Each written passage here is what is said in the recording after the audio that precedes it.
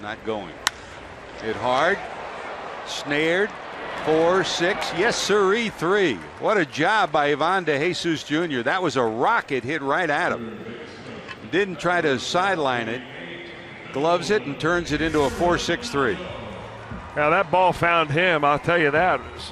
Hit very hard, but picked clean and a nice easy feed and a 4 6 3 DP double lane ball.